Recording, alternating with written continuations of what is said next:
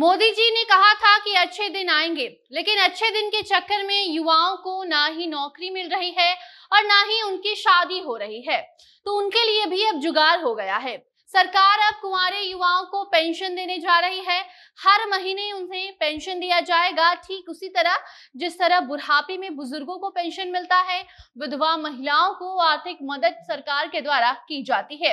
ठीक वैसे ही अब कुंवारों को पेंशन दिया जाएगा। जी हाँ पूरे साल जिसका इनकम दो लाख से कम होगा, उन युवाओं को ये पेंशन देने का काम शुरू किया जा रहा है।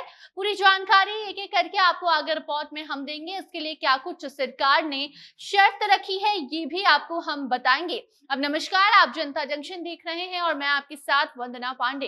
देखिए, लोकसभा और विधानसभा चुनाव माथे पर है और चुनाव में युवाओं का वोट बैंक बनाने की तैयारी अभी से शुरू होने लगी है। बिहार में वक्त लगेगा, लेकिन हरियाणा सरकार ने अभी से ही अपनी कमर कस ली है।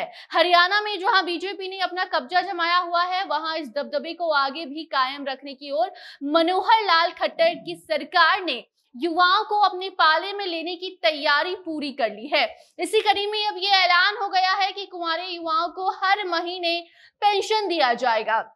जी हाँ हरियाणा सरकार ने जिन युवाओं की शादी नहीं हुई है और जिनका इनकम ज़्यादा नहीं है, वैसे युवाओं को पेंशन देने का ऐलान किया है। और हो सके तो ये आने वाले महीने से ही इसकी शुरुआत हो जाएगी, यानी कि आने वाले महीने, यानी कि अगस्त से ही 40 से 60 साल के अविवाहित युवाओं को ये पेंशन दिया जाएगा, जिनकी आमदनी सही नहीं है।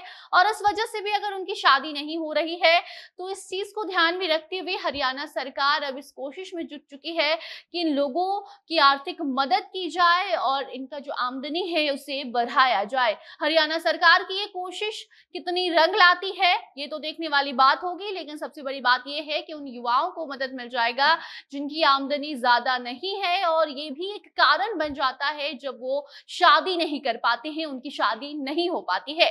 वैसे भी हरियाणा में लड़कियों की कमी की वजह से शादी में काफ़ी दिक्कत आती है लेकिन दूसरी बड़ी दिक्कत इस कारण भी आती है क्योंकि युवाओं को अच्छी नौकरी नहीं मिल पा रही है और सही आमदनी नहीं होने पाने के कारण अनमैरिड ही वो रह जा रहे हैं। तो वैसे युवाओं को ये ध्यान में रखते हुए सरकार ने फैसला लिया है, चाहे वो चुनाव को लेकर हो, कोई नई रणनीति के तहत इस योजना को लाया जा रहा हो या फिर सच में युवाओं की मदद करने की सरकार कोशिश कर रही है, बात जो भी हो, लेकिन इससे सबसे ज़्यादा फ़ायदा कुंवारे युवाओं को होने वाला है। हालाँकि सरकार ने इसके लिए एक शर्त भी रखी है।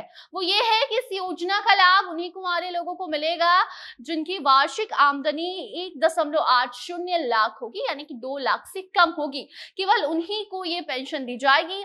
साथ ही एक उम्र भी निर्धारित कर दी गई है। हरियाणा के रहने वाले कुमारे लोगों को ये फ़ायदा होगा जिनकी उम्र 40 से 60 के बीच में होनी चाहिए।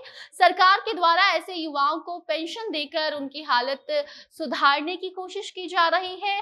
उनको आर्थिक रूप से सरकार मदद कर रही है और जो जानकारी सामने आई है वो ये है कि अगले महीने से शुरुआत हो सकती है, जिसके बाद कुंवारों को सरकार हर महीने दो हज़ार सात सौ पचास रुपए देगी, उनके अकाउंट में ये पैसे जाएँगे। मगर अफसोस की बात यह है कि अभी ये सिर्फ़ योजना हरियाणा में शुरू किया जा रहा है, लेकिन आगे चलकर इसे बाकी और राज्य में भी लागू किया जा सकता है। वैसे भी ये देखने को मिलता है कि केंद्र सरकार और राज्य सरकार के द्वारा पहले से भी कई ऐसी योजनाओं को लाया गया है, जिससे युवा वर्ग हो या फिर बुज़ुर्ग हो, हर एक वर्ग के ऊपर खासा ध्यान दिया जाता है।